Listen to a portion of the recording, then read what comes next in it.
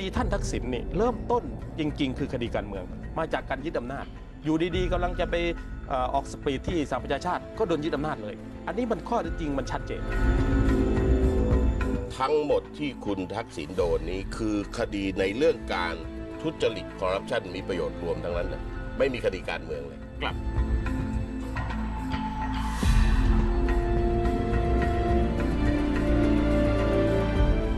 สวัสดีครับท่านผู้ชมตอบโจทย์คุยต่อเนื่องเป็นวันที่ 2 เมื่อวานคุยเรื่องคดีของคุณทักษิณชินวัตรวันนี้จะคุยเรื่องคดีของคุณสนธิลิมทองกุลครับ คุณคารมตกลงไปแจ้งความอะไรคุณสนธิไว้บ้างครับมีกี่คดีฮะคือจริง ๆ หลายคนก็งงว่า เอ๊ะ เมื่อเสียอ้ายครับอ่ามาพูดที่สนามม้านางเลิงเนี่ย28 ตุลาเนี่ยผมแจ้งผมไปตามสักวันที่ 30ไม่แม่นนะบ้านนะฮะเขาเข้าใจว่าไปแจ้งความ จริง ๆ ไม่ใช่นะฮะฮะจริง ๆ แจ้งความท่านสนธินี่ตั้งแต่ 26 มกราห้าห้า ครับความผิดที่แจ้งคือมาตรา 114 ประมวลกฎหมายอาญามาตรา 115 มาตรา 116 วงเล็บ 2 จริง ๆ ไล่ให้ฟังก็ได้ว่า 14 15 16 นี่คืออะไรฮะคือ 114 ก็หมายว่าความผิดยุยงให้ราษฎรเป็นกบฏครับกบฏก็หมายว่าความผิดฐานกบฏล้มล้างอำนาจบริหารอำนาจตุลาการอำนาจนิติบัญญัติ หรือให้ใช้อำนาจนี้ไม่ได้ นี่เขาเรียกกบฏครับมีโทษประหารชีวิต หรือจำคุกตลอดชีวิตหนึ่งหนึ่งห้าก็เรียกว่ายุยงให้ทหารก่อการกำเริบฮะยุยงนี่มันในทางไม่ดี ก่อการกำเริบ อันนี้แล้วก็ผิดค รับร้อยสิบหกเนี่ยเขาเรียกว่าแสดงความคิดเห็น ซึ่งไม่สอดคล้องกับทางรัฐธรรมนูญครับไม่ใช่การตีชมด้วยความสุจริต อืม อันนี้แจ้งความท่านสนธิ ครับ เอ่อเนื่องจากกรณีที่ท่านพูดที่บ้านพระอาทิตย์ ในวันที่ 20 มกราคม 2555 แล้วก็มีการส่งกระจายเสียงไปทางเขาเรียกว่าทางเอ่อเอ่อไปที่ฮ่องกงแล้วกลับมาแล้วก็เผยแพร่ ครับ ในงานเอ่อที่เป็นรวมพลของพันธมิตรสักงานหนึ่งนะฮะแล้วผมก็แจ้งความเสร็จแล้วก็ เสียอ้ายด้วยฮะในในคราวเดียวกันในวันที่ 26 มกราเนี่ยแจ้งความเสียอ้ายไปด้วยฮะนะฮะก็คือข้อหาเดียวกัน ครับเพียงแต่ว่าผมไม่ได้แจ้งว่าคนคนไหนผิดอะไร แจ้งรวม ครับ ผมเป็นคนกล่าวโทษ กล่าวโทษก็คือว่าเรารู้ว่ามีความผิดเกิดขึ้น เราไม่ใช่ผู้เสียหายไปบอกกับเจ้าพนักงานคือตำรวจกองปราบ ให้มีการสอบสวนสืบสวนหาตัวผู้กระทำความผิด อันเนี้ยเรามองอย่างนี้ฮะต้องเรียนทางท่านพินโยว่าคุณพินโยว่าท่านสุวัสด์ว่า ผมเนี่ยรับไม่ได้กับการยึดอำนาจฮะ แล้วผมมองว่ารัฐบาลยิ่งรักษณ์เข้ามาเนี่ยเขาก็ยังไม่ได้ทำอะไรที่มันมันเป็นการที่เรียกว่าเป็นความผิดที่มันจะมาไล่กันโดยที่ไม่ชอบด้วยกฎหมายครับคือคนที่เป็นเป็นรัฐบาลแล้ว คนที่มาเป็นนายกรัฐมนตรีเป็นรัฐมนตรีแล้วนี่มันจะพ้นนี่มันควรจะเป็นไปตามรัฐธรรมนูนเอ่อลงมติแล้วก็โหวตไม่ผ่านแพ้โหวตในสภา หรือลาออกหรือครบปีครบสมัยผ่านไป แล้วก็คุณก็พ้นจากการเป็นรัฐมนตรีไป แต่เนี้ย อ้างข้อหาหนึ่งก็คือว่าคุณสนที่พยายามจะอ้างว่ารัฐบาลนี้หนึ่งพยายามจะบอกว่าเชื่อมโยงกับคุณทักษิณพยายามจะบอกว่าทุจริตคอร์รัปชันแต่ที่สำคัญคือเรื่องจับจ้วงสถาบันครับอันนี้เชื่อมโยงกับท่านพลเอกบุญเลิศด้วย คราวนี้ปัญหาว่าจับจ้วงสถาบันไหมในขณะนั้นนะฮะเดี๋ยวมันจะเลื่อยมาถึง 28 ตุลาคมฮะจริง ๆ เรื่องเนี้ยมันเป็นเรื่องที่เกิดขึ้นอยู่แล้ว เจ้างานก็ดำเนินคดีแล้ว ICT เนี่ยนะฮะของคุณดนุดิตนี่ก็ปิดไปเว็บไซต์ที่ที่มีการจับจ้วงล่วงละเมิด 112 เนี่ย เยอะแยะ แล้วคนที่ติด คนที่ติดมาตรา112 คือฝั่งเสื้อแดง เพราะฉะนั้นจะมองว่ารัฐบาลเขาเขาไม่ผิดเอยเขาเขาเขาปล่อยคนผิดให้ให้มีการกระทำผิดเกลื่อนเมือง หรือว่าไม่ใส่ใจนี่มันไม่ใช่ครับ เอาเหตุนี้มาล้มรัฐบาล ล้มรัฐบาลนี่มันล้มมันชัดเจนท่านสนที่พูดเลยว่า ทหารเนี่ยจะต้องออกร่วมกับราษฎราษฎรเพื่อเปลี่ยนแปลงการปกครอง คือปฏิวัติเลยนะฮะปฏิวัตินี่มันชัดว่าจริง ๆ ก็คือการยึดอำนาจ ครับ ปฏิวัติในเมืองไทยไม่มีจะมีแค่2475 ที่คิดว่าใช่ นอกจากนั้นเป็นการยึดอำนาจ ยึดอำนาจนี่มันมันมันขัดร้อยมาตรา 113 ประมวลกฎหมายอาญาประหารชีวิตจำคุกตลอดชีวิต ครับ แล้วมันสอดรับกับทางเสียอ้ายด้วยที่พูดในรายการ 100.5 ของอสมทฮะอันนั้นก็ยุทหารปฏิวัติครับ ก็อ้าง 112 อีก ไม่พอฮะพอวันที่ 28 ตุลาคม ผมจริงๆ ไม่อยากจะ โดยปกติทนายความนี่จะไม่เอาตัวเข้าไปแลกนะฮะครับปกติเขาจะต้องเอาใครก็ได้ไปไปแจ้งความแต่ว่าบางทีเราก็อาจจะมันอาจจะเป็นที่อุดมการณ์ชัดเจน ครับก็ไปแจ้งเสร็จก็มามองว่าเอ้ย24ตุเอ้ย28 ตุลาที่ผ่านมาคราวนี้ชัดเลยบันไดสองขั้น รัฐบาลจะอยู่ไม่ได้อืม อ่าถ้ามาหนึ่งคนแล้วเอามาร้อยคนอ่านัดประชุมอ่านัดชุมนุมในยี่สี่ยี่ห้าเอาให้จบเลย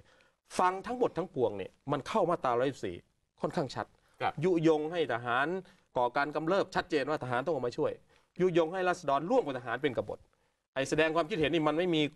เอ่อมุมไหนที่จะมองว่าเป็นการแสดงความคิดเห็นที่สอดคล้องกับรัฐธรรมนูญครับติชมด้วยสุจริต ถ้าคุณมองว่ารัฐบาลทุจริต คุณก็ต้องยื่นยื่นกระทู้ในสภา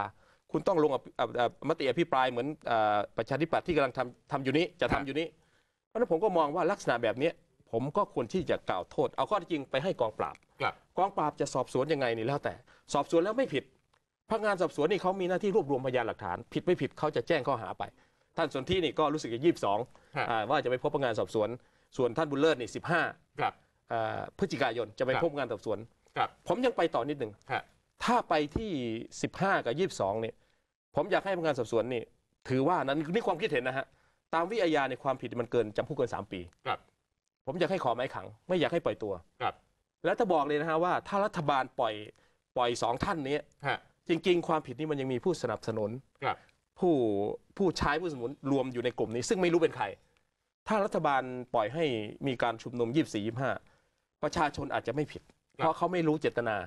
แต่แกนนำบรรดาหลายคนเนี่ยที่คือผมผมกล่าวโทษท่านสนธิกับท่านบุญเลิศนี่ถือว่าผิดแล้วล่ะครับแต่ว่าผิดไหมว่าผิดในแง่ที่เรามองข้อเท็จจริงที่ปรากฏพนักงานสอบสวนจะดำเนินการยังไงเป็นเรื่องงานสอบสวน แต่ผมอยากให้ขอหมายขังครับตามวิอาญาทำได้ครับถ้าเห็นว่า เป็นความผิดที่อยู่ในกรณีที่ออกหมายจับได้ตามมาตรา 66 ประมวลกฎหมายวิธีความอาญาบอกว่าโทษเกิน 3 ปีแล้วไปขอหมายขังเลย ก็ได้ครับ อะเพราะว่าเหตุว่าถ้าไม่ทำนี่ผมว่ารัฐบาลอาจจะเสียใจ อะเอาตรงนี้ก่อนเอาตรงนี้ก่อนนะฮะตกลงข้อหารุนแรงทั้งนั้นเลยครับ ทั้งเป็นกบฏยุทหารให้ปฏิวัติขัดรัฐธรรมนูญและจะขอหมายขัง ตกลงคดีคุณสนธินี่ว่าอย่างไงฮะ เอาอย่างนี้ก่อน คุณคาลมเนี่ย ครับ เป็นคนไปฟ้องไล่พันธมิตรออกจากทำเนียบนะ ประวัติของท่านเนี่ย ท่านทำมาเยอะแยะเลยครับ นะฮะเพราะฉะนั้นเนี่ยที่ผ่านมาเนี่ย คือเราเนี่ยทั้งคู่ต่างเป็นทนาย ครับ หลักของทนายเนี่ยจะไม่พูดว่าอะไรแพ้หรือชนะร้อยเปอร์เซ็นต์ครับ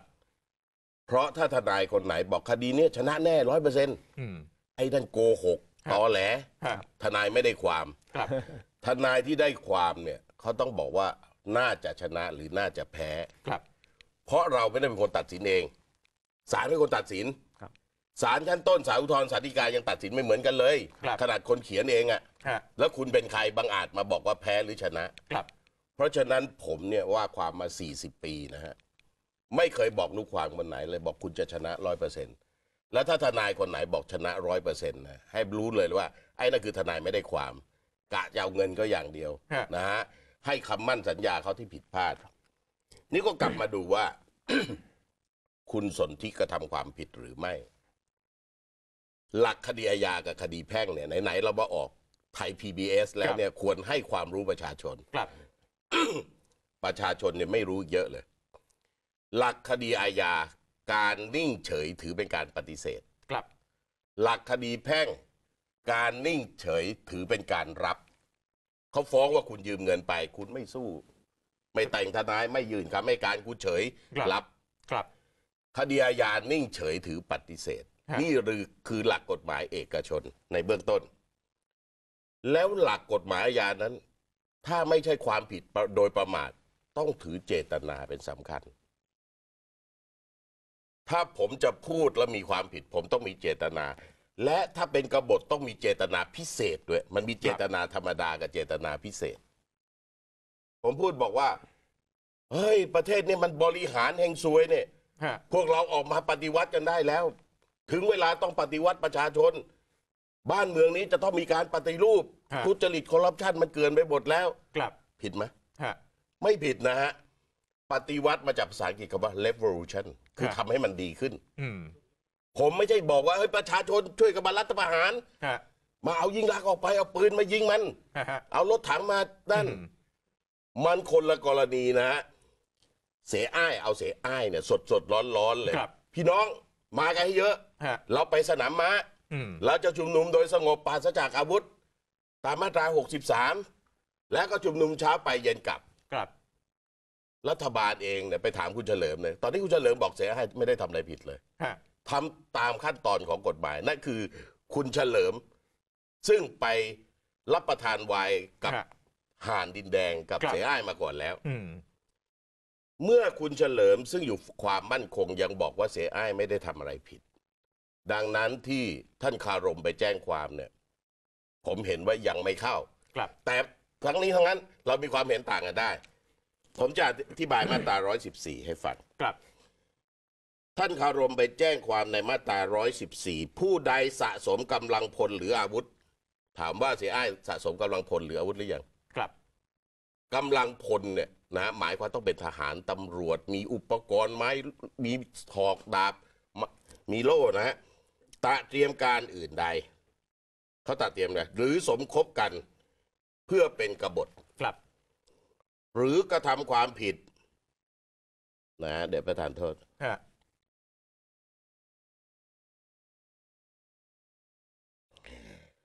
หรือกระทำความผิดใด ๆ อันเป็นส่วนของแผนการเพื่อเป็นกบฏกบฏคือยึดอำนาจเลยอืม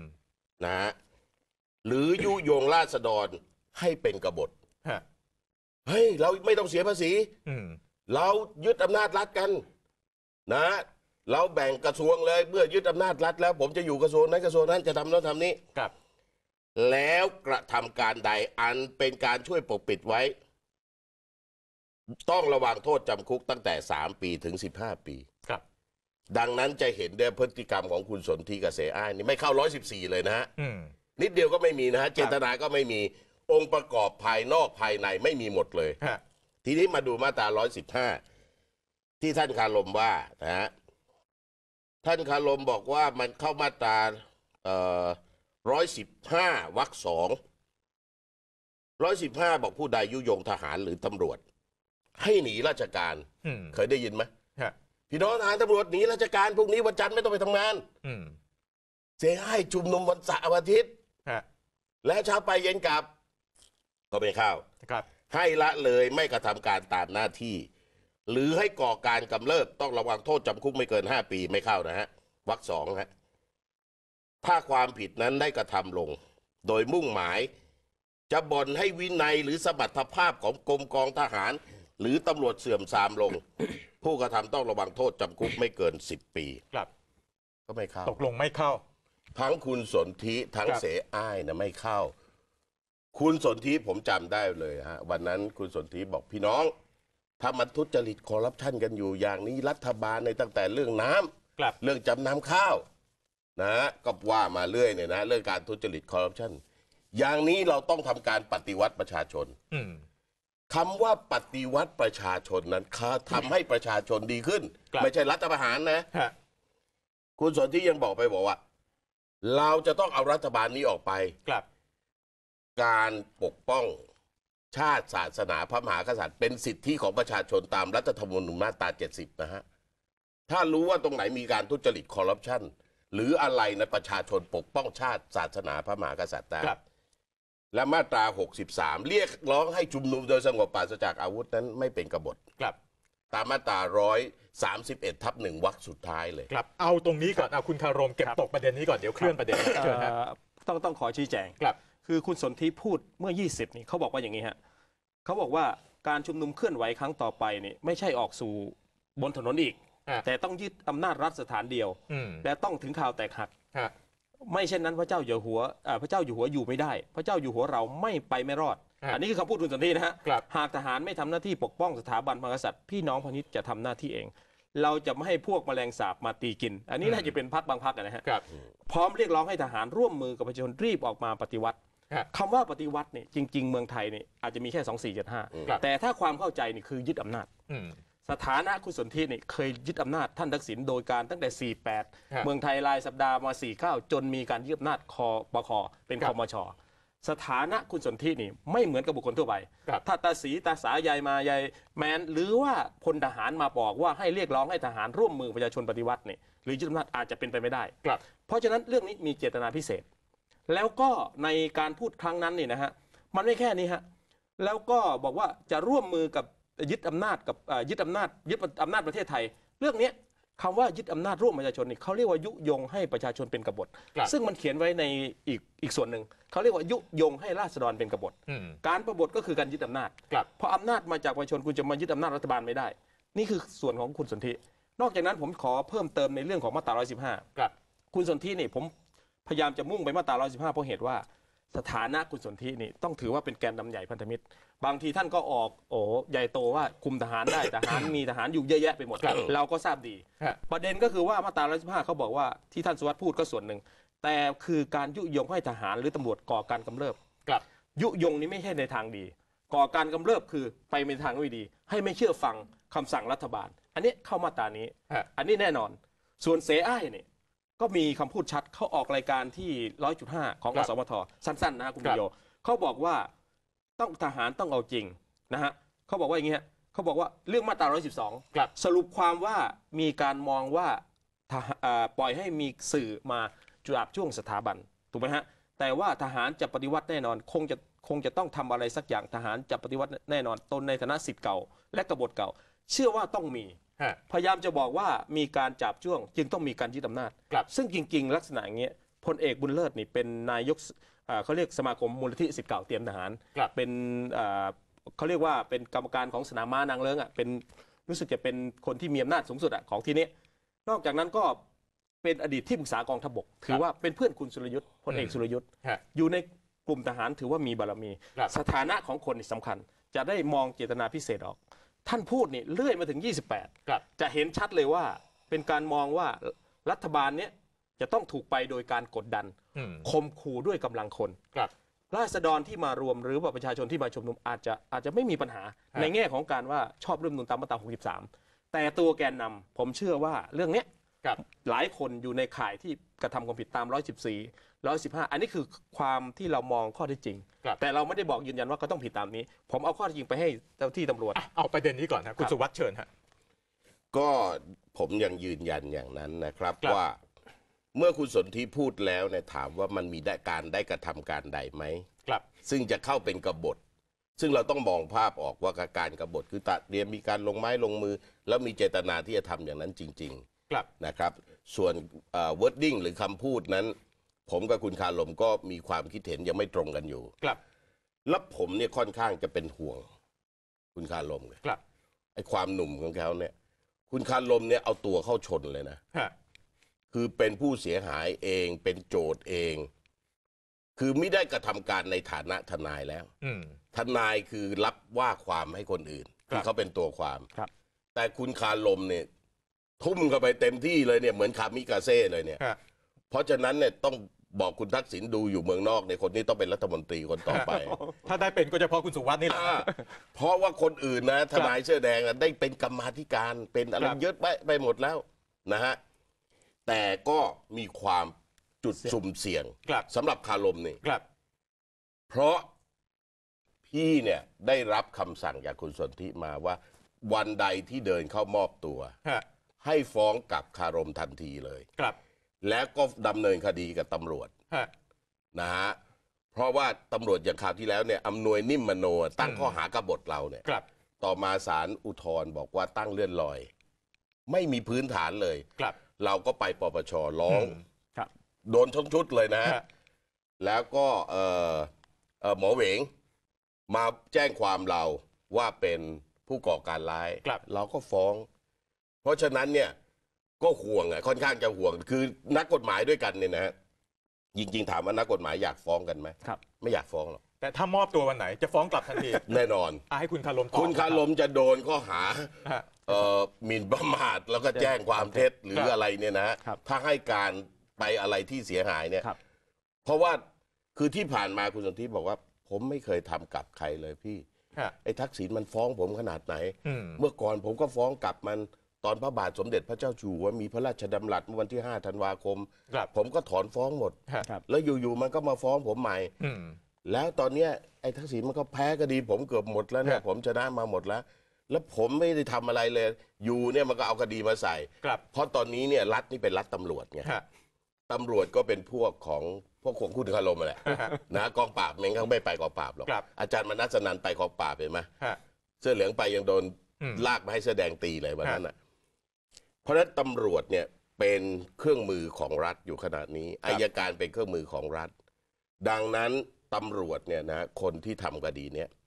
เอ่อพันตำรวจเอกประสบโชคเอ่อครับมูลพร้อมมูลพร้อมมูลเนี่ยนะนั่นน่ะจะต้องถูกดำเนินคดียาทันทีที่มอบตัว และอย่างที่คารมคิดเนี่ยนะฮะว่าวันนั้นเนี่ยไปแล้วขอให้ขังเลยครับ ผมเขียนแปะข้างฝาว่า